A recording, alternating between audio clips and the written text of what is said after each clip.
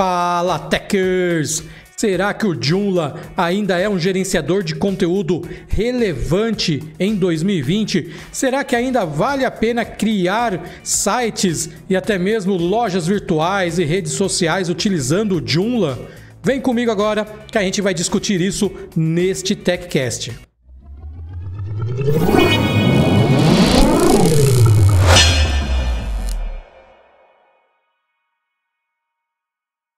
Esse é o site oficial do Joomla, é onde você encontra o gerenciador de conteúdo prontinho para download. Ele é de código aberto, ele foi construído em PHP, utiliza o MySQL é, para o banco de dados e nos últimos anos ele parece que perdeu um pouco da relevância porque você escuta muito pouco sobre ele no mercado, mas na verdade ele ainda continua assim muito utilizado.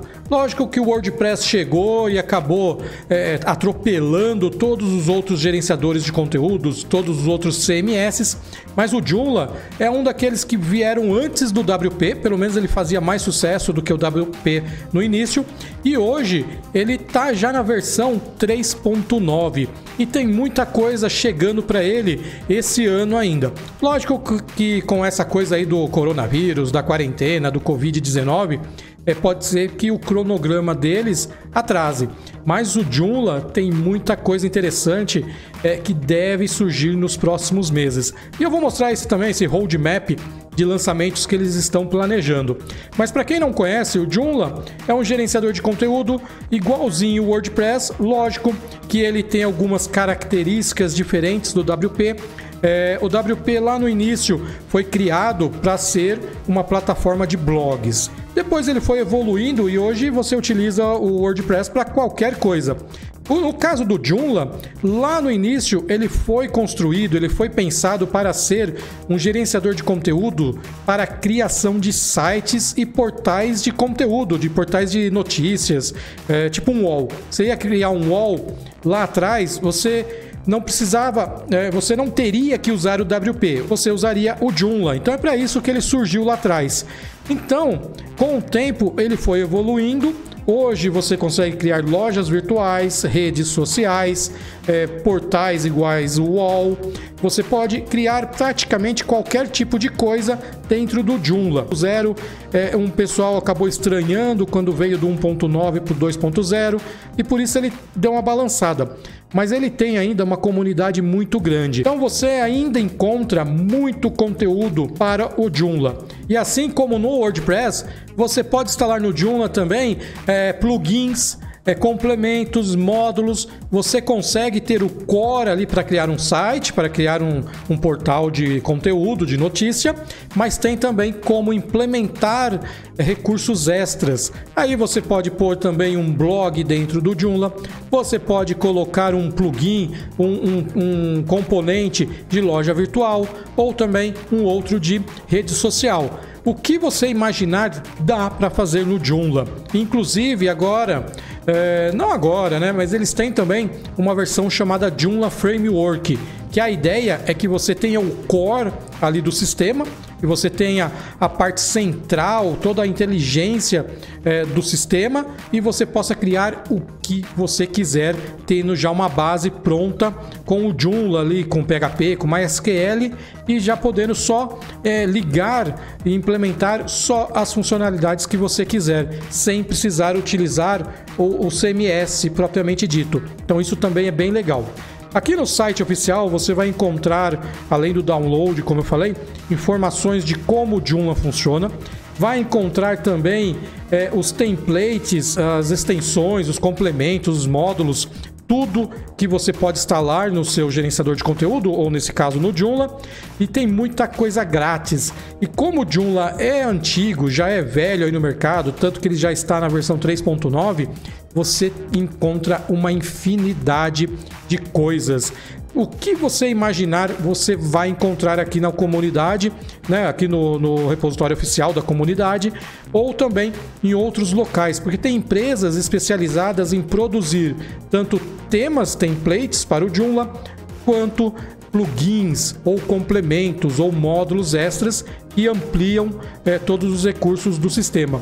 É, inclusive lá na ThemeForest tem uma área só sobre o Joomla. Você vai encontrar temas, templates lá bem legais e alguns são até por preços bem atrativos, não são absurdos de caro. É só dar uma olhadinha lá que você acha. No repositório oficial você vai encontrar coisas para melhorar o layout do seu site. Você pode instalar uma extensão para ter um lightbox um modal ou aqueles pop-ups que aparecem na tela. Você tem como mudar o background da sua página ou deixar cada página com um background diferente.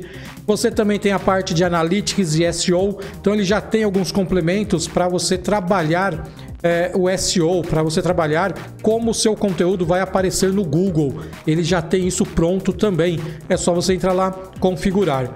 Tem a parte do e-commerce, como eu falei, então você tem aqui os gateways de pagamento, você pode integrar a sua loja virtual feita no Joomla com o PayPal, PagSeguro, Mercado Pago, ele tem já módulos também com as empresas brasileiras, isso é muito legal.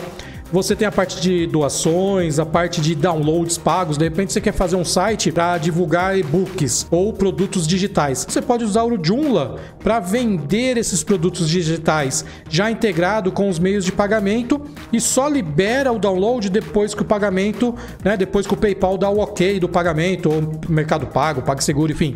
Teve o OK lá do gateway de pagamento, ele libera o download para você. Tudo isso automaticamente, porque já tem coisa pronta para esse tipo de coisa. Ah, como eu falei, eles têm um roadmap que tá bem legal para as próximas versões do Joomla.